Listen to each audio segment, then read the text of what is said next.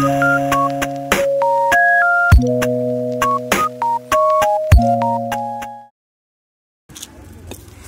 welcome to exotic pet association my name is Nishan दोस्तों, आपकी video में हम लोग थोड़ा बीगल पापी के बारे में बात करेंगे या एक ऐसे ब्रीड के बारे में बात करेंगे जिसको अगर आपके पास टाइम नहीं है टाइम कम है, आपके पास जगह कम है, या मेंटेनेंस का काफ़ी ज़्यादा खर्चा भी नहीं उठाना चाहते डॉग को रखने में, और थोड़ा बहुत एक मीडियम स्मॉल मीडियम ब्रिड का डॉग चाहते हैं, जो कि बहुत बड़ा ना हो ब्रदर जैसा और बहुत छोटा भी ना हो, जैसे पोमिनन जैसा Dan beagle is perfect choice for you अगर आप दिल्ली, मुंबई, चेन्नई हाँ मैं भी इन गुवाहाटी, कोलकाता में रह रह रहे हैं। एक वर्किंग कपल है वर्किंग फैमिली है। आपके पास उतना टाइम नहीं है डॉग को देखभाल करने के लिए। सुबह, शाम टहलने के 24 फोर आवर्स इनके साथ खेलने के लिए, कूदने के लिए टाइम नहीं है। बट आप रखना चाहते हैं कंपेनियन बिकॉज़ अभी भी आप काम से आए, शाम को ऑफ़िस से आए स्कूल से आए तो आपको थोड़ा बहुत एंटरटेन हो। आप क्या रखना चाहते हैं थोड़ा बहुत? तो बिगल आपके लिए बहुत ही बेहतरीन। एक ब्रीड है, आप बहुत आसानी से रख सकते हैं। छोटा ब्रीड होता है, बहुत बड़ा नहीं होता है, बहुत हेल्दी भी नहीं होता है। Healthy in the sense of मोटा नहीं होता है काफ़ी।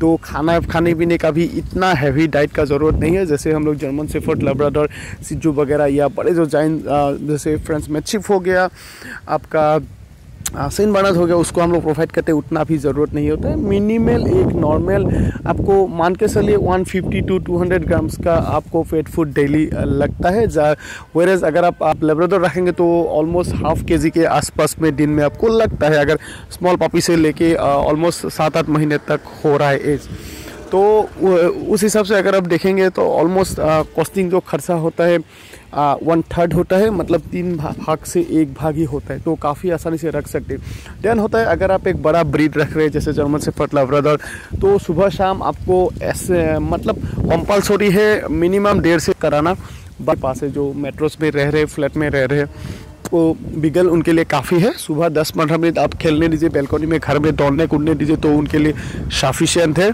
देन आता है नेक्स्ट दोस्तों, जब हम लोग काम के लिए निकलता है, कोई मेट्रो में रहने वाला डॉग को कैसे रख के जाए? बिकॉज़ कोई फ्लैट में रह रहा है अपार्टमेंट में रह रहा है, दिन भर रख के जाएँगे तो फोकेगा, काफ़ी ज़्यादा फोकेगा।